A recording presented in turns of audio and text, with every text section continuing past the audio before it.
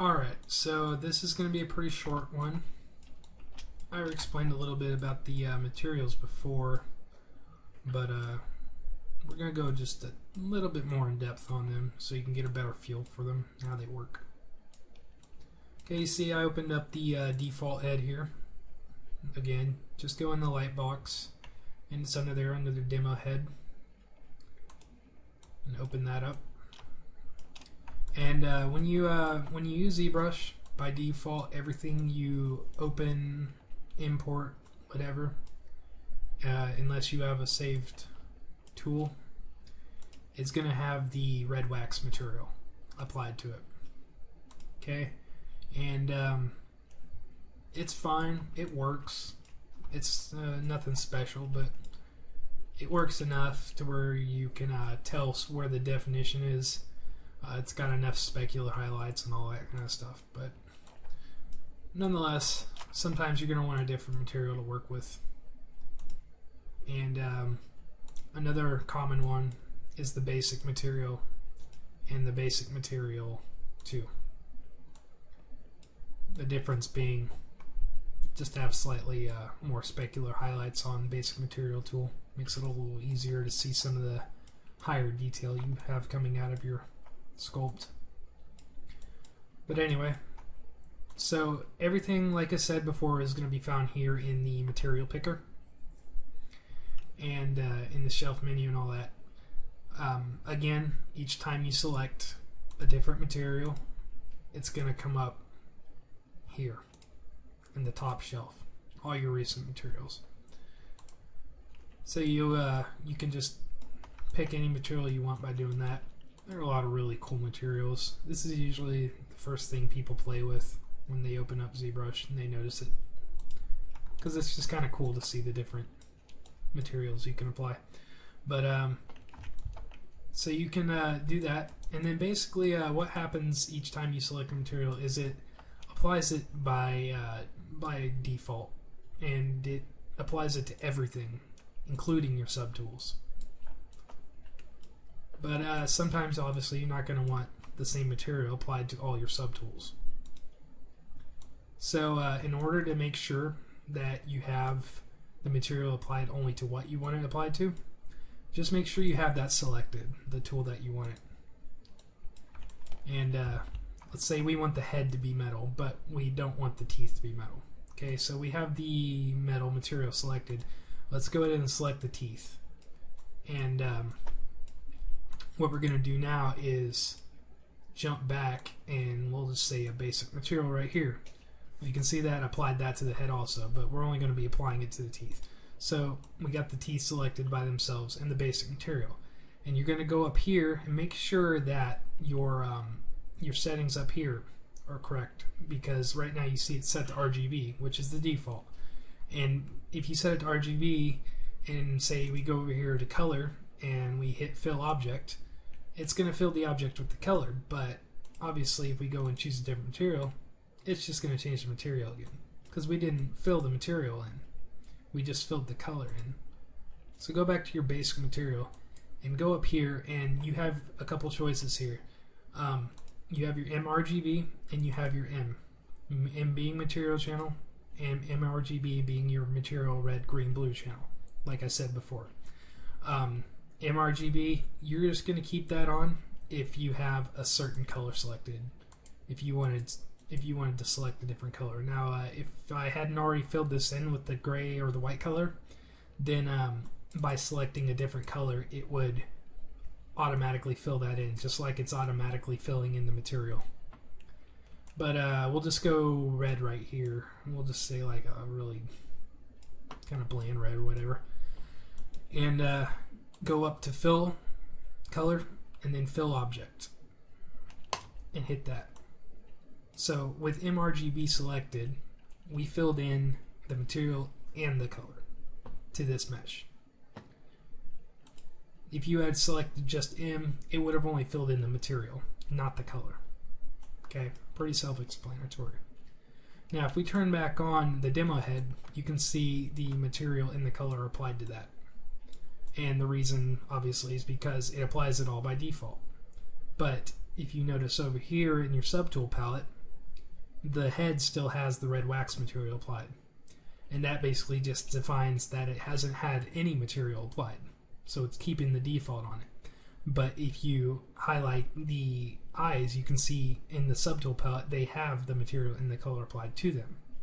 So to separate them, obviously, what we're going to do is re-click on the head here. Since we already finished the eyes, just re-click on the head and we'll go back to the metal material.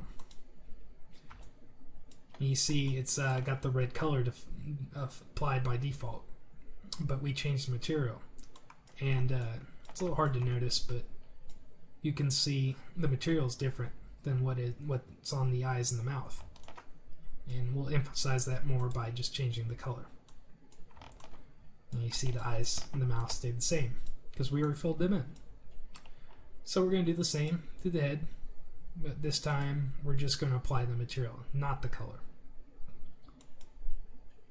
So we just filled the material in. It got brighter because we didn't apply that color. It's just keeping its default color.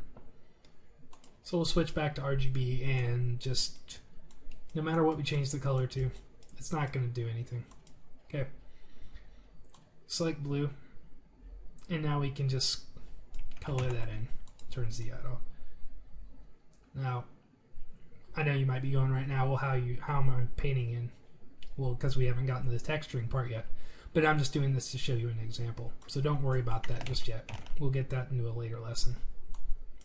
But uh, I'm just basically showing you that that's how you're going to be separating your materials and your colors when you're filling them in and coloring them in. Now also you have the uh, option to blend together materials. Um, this wasn't this is kind of always been available, but in later versions of ZBrush, it's become a little bit better because you can have smoother transitions. So in order to do that, let's make sure our geometry is up because this is going to matter quite a bit. I get it up to level 5, so I have it about just under a million polygons. And uh, I don't know if that'll be enough resolution, but we'll see. So we have our material filled in already on the head. And um, we're going to choose a different material. We'll choose uh, chrome, the really bright chrome. And make sure we only have the M selected because we're just going to be messing with the material right now. With the M only selected, it's only going to paint the material. So we'll start painting it in here.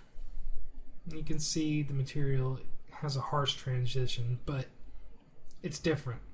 And I'm painting another material on top of a material that's already there.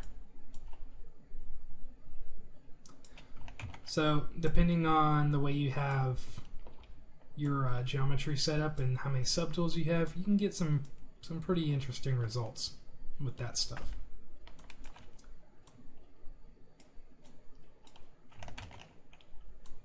So you can have a lot of fun messing around with that.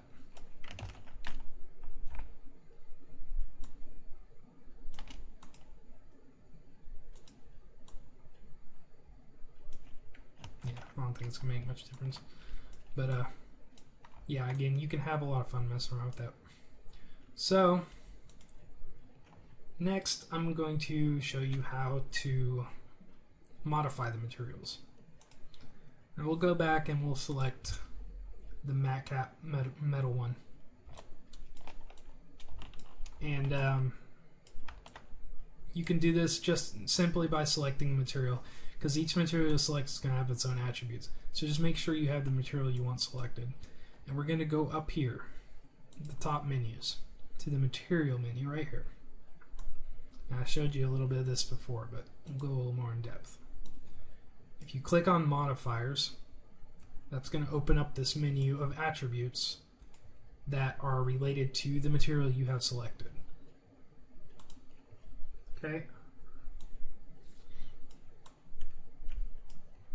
So maybe we want to change the intensity or something. Now, um, it's going to have unique attributes. It's not going to have the same attributes attributes as every other material. Like some other material might have a, a, a specular highlight attribute or several of them. Um, but the attributes that are included in the material are basically what make the material look like the way it does. So you're you're going to have some control over the material unless you wanted to create your own material or something. But you're going to have some control over it and you can create different results with it.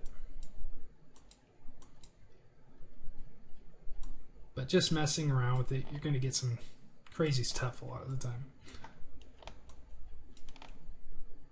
And uh, Colossus here, something like that. But messing around with that, you'll get a you'll get different results.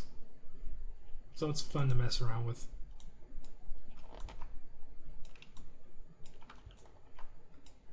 Outside of that, it's not much else. There's uh there's really pretty much all there is to it. The material menu is pretty simple. That's just a color mixer. Nothing special. Um, but yeah, that's uh, pretty much all there is to it. So experiment away, have a lot of fun with it, mess with different materials. You can really get some crazy stuff going.